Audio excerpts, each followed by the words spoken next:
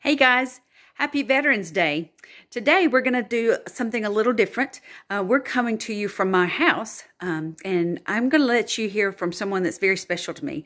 Um, we're going to be hearing from my husband, and he has a few stories that he wants to share with you. But uh, one in particular, there's a veteran in his life that was very special to him, and I want him to tell you about him. And so um, here is my husband and my doggy, um, Roscoe. So I would like to introduce to you Chris Bird. Here he comes. There we go. Hey, Oak In John 16, verse 13, it says, Greater love has no man than this, than to lay down one's life for one's friends.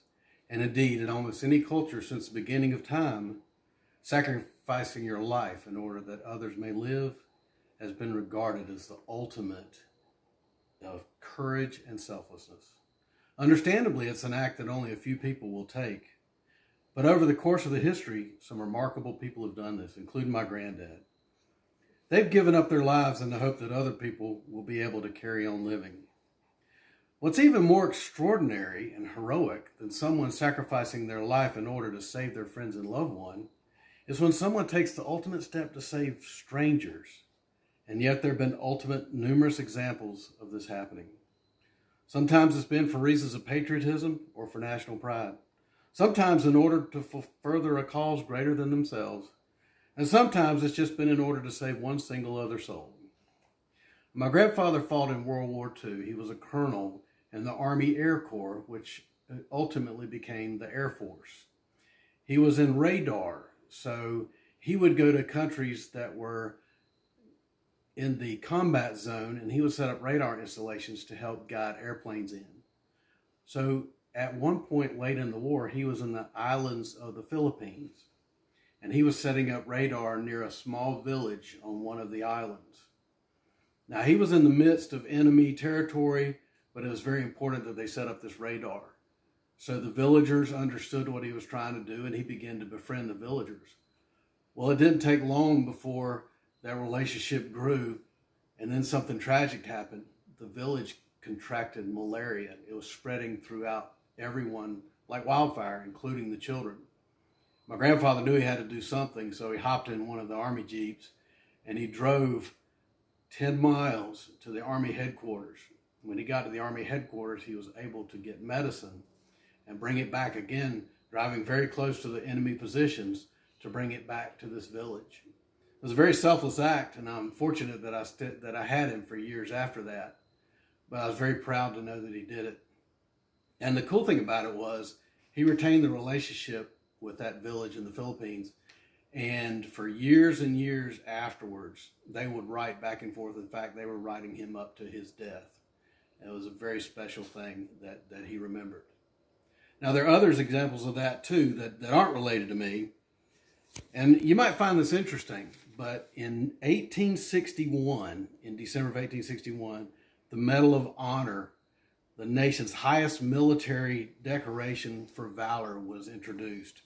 Since its creation, there have been about 3,500 members of the armed forces. Now, you think of the hundreds of thousands of soldiers who fought, and yet 3,500 have been recognized with this highest honor. And they distinguish themselves conspicuously by gallantry and intrepidity at the risk of his or her life above and beyond the call of duty. And they've been awarded this medal. The Medal of Honor is awarded by the President in the name of Congress and is the only military decoration worn around the neck. Its recipients, our most gallant heroes, are the only individuals whom the President and the military of all ranks salute as a matter of custom. That's right, the President himself salutes Medal of Honor recipients. Now, I just went through the list, and it's really fascinating if you want to go to the Medal of Honor Museum online and look up some of these guys. And I just was looking through and I found one guy that really stood out to me. And this guy's name was Staff Sergeant Ronald J. Shurer. He was in the Army 10 years ago over in Afghanistan working in Operation Enduring Freedom. Now, his commando unit was called to climb up a very sheer cliff and attack an enemy position of the Taliban and get up there and see what they could do to help uh, advance the cause of the war. So they're climbing up this cliff and they found out that there was an assault set up on top, an ambush that was firing down on their position. So there was enemy machine gun fire, snipers, there was rocket propelled, rocket propelled grenade fire, and the lead portion of the assault element, the lead commander, was shot down as well as many of the other soldiers. Now, Staff Sergeant Schur and the rest of the trailing portion were likewise engaged with the machine gun sniper and rocket propelled grenades. But he didn't care. He braved the enemy fire and he moved an injured soldier and treated his wounds. Having stabilized that soldier, he then learned of the casualties among the lead element. So he ran up ahead and he fought his way up the mountainside using intense under intense enemy fire to the lead element's location. Upon reaching the lead element, treated and stabilized two more soldiers. Finishing these life-saving efforts, he noticed two additionally severely wounded soldiers under intense enemy fire. The bullet that had wounded one of these soldiers had also hit Staff Sergeant Schur's helmet. With complete disregard for his own life, he again moved through enemy fire to treat and stabilize another soldier's severely wounded arm. Shortly thereafter, he continued to brave enemy fire to get to another soldier's location to treat his lower leg. After treating him, he started evacuating the wounded, carrying them down the mountain. He then set up a rescue location where he began to treat them. And once he had other people that could come and help them, he used his own body to shield some others coming down and then went back up to engage again. Facing the intense fire, he again met with his commando squad and rejoined the fire. He continued to lead the troops and in place security elements until it was time to remove the evacuation. For this gallantry, he was awarded the Presidential Medal of Honor. An amazing story of an amazing man just 10 years ago. Even though these go all the way back to the Civil War, this is one that's just recently. So, how did he get this idea to be of sacrifice? Is it something that just happens in the military? I don't think so. There's another gentleman that I wanted to tell you about, and this happened near the beginning of World War II. And this story is about one of the Vanderbilts. I don't know if you've heard about the Vanderbilts, but they're one of the richest families in America. Cornelius Vanderbilt uh, built the Biltmore House and just made a tremendous amount of money. And his son Alfred put his money in real estate and in horses. So he decided that he was going to get on a ship and go over to Europe and look at horses. Now it was World War II and there were German U-boats prowling the waters. But he decided to go anyway because he figured it's a passenger ship. Nothing's going to happen to him on a passenger ship. So sure enough, they're out in the middle of the ocean and they're attacked by a German U-boat, a submarine. It begins to sink. And Vanderbilt, as a first class passenger, he was given a life jacket and he gave it away. Then, as the ship started to sink, he started concerning himself to make sure as many children as possible got into the lifeboats. Given his status and given what had happened on the Titanic, he could easily got a spot on a lifeboat and saved his own skin. However, he was still trying to save others when the boat went down under the waves. His body was never found, but the New York Times noticed that he displayed gallantry which no words of mine can describe. I go back to that verse greater love hath no man than this, that he lay down his life for a friend or a child. An amazing story. I've got one more for you.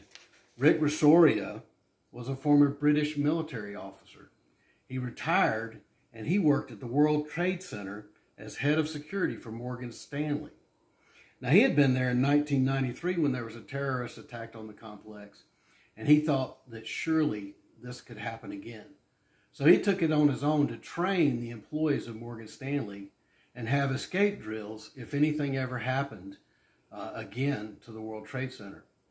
Well, sure enough, uh, when that attack took place on September 11, 2001, because of his efforts, the people of Morgan Stanley were able to get out.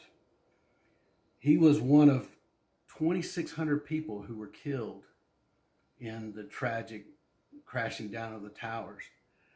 But his heroic actions, leading people down the stairs and following these rules, are believed to have saved the lives of more than 2,500 people just by himself.